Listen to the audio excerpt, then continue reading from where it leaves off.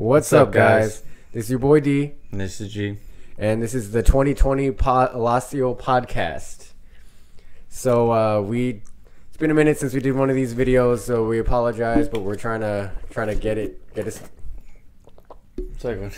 we're trying to get it started for y'all. Trying to take this seriously, some of us at least. Trying to keep up with it. It's, Um, it's a lot to keep up with. Yeah, it is a lot to keep up with. We're doing the UFC 246 predictions for this Saturday: Conor McGregor versus Cowboy Cerrone. This is going to be a really good fight. We also got uh, Raquel Pennington Versus Holly Holmes. Holly Holm, and then we also have Pettis, who's one of my favorite fighters, and uh, he's facing Ferreira.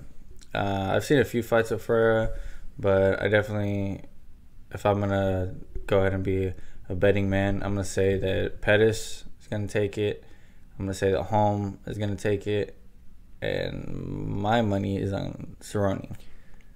Um, well, I like your first two picks. I think Holly Holmes is definitely a solid f- fighter. Um, Pennington is also a really good fighter, but um, I think Holly Holmes, just with her K1 boxing and everything, it's just uh, it's gonna be too much for um, Pennington to handle. I think Holly Holmes is gonna take it probably in the second round, if not the first. Anthony Pettis, um, I haven't seen uh, the other dude fight very much. Ferreira. Yeah, Ferreira. So um, I'm gonna say Anthony Pettis, and then um, for the main event, I got uh, Conor McGregor winning in the third round by t- uh, technical knockout. Yeah, I think the biggest um, the biggest difference in in uh, that fight is just going to be the elusiveness of McGregor.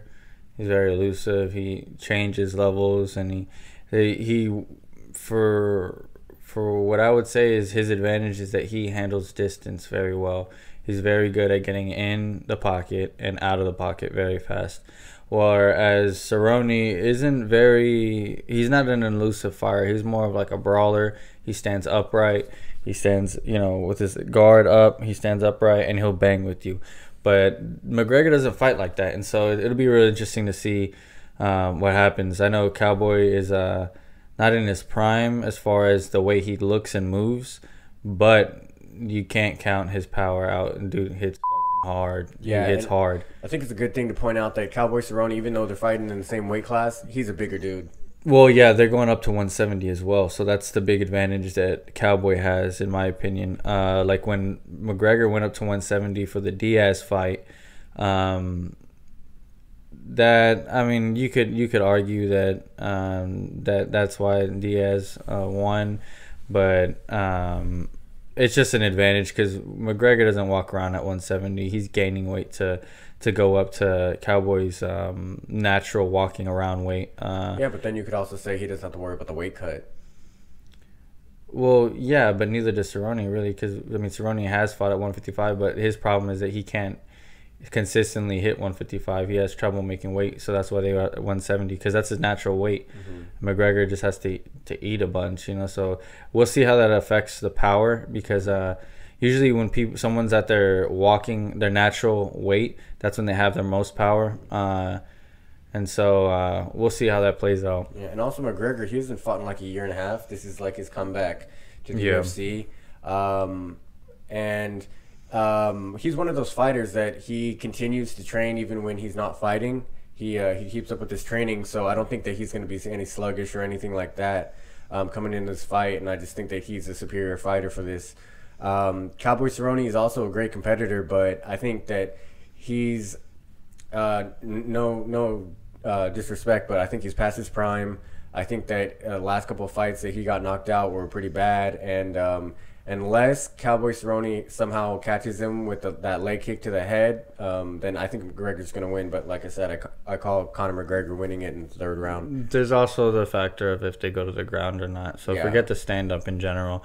As far as jujitsu goes, Cowboy has, um, in my opinion, uh, a heavy advantage um, just off of jujitsu alone because McGregor's losses have come by submission, and a lot of Cerrone's wins have came by submission. And just like the overall skill is, you know, people from someone coming from a jiu-jitsu background and watching, you know, MMA, you can definitely see a lot more of what they're actually doing Yeah, the level's a lot. the higher. level's a lot higher. Yeah, the the skill level you can see the transitions, the escapes, um, and the counters to certain positions. Uh, I've seen Donald Cerrone escape a lot of positions and uh, and advance into submissions uh, that were really really uh, profound and not easy to do in a very high level jiu-jitsu. So um, I think I think if it goes to the ground, that that definitely could be a factor. Uh, I'd like to see Cerrone win, um, but I, I also wouldn't mind McGregor winning. So yeah. since it's his first fight back. Uh, so those are our predictions for UFC 246 this Saturday. Uh, I think it's the 17th. Mm, 18th? 18th, something like that. It's this Saturday. This Saturday yeah. yeah. So um, uh, you guys go and watch it and let us know what you think. If we are right on the money, then um, I guess we know a little bit, a little bit of inside information. So, so that's gonna be it, guys. I uh, hope you guys enjoyed the video. Uh, we're gonna try to post more of these, you know, every single week. Uh, I'm definitely gonna try to post at least once, maybe two a week if I'm lucky. Um, now that uh, I I got all my stuff, you know, one in one space, it's just a lot easier to make these videos. So I hope you guys enjoy. Um, we'll see you guys next time. Don't forget to go to the gym and lift something heavy. Peace.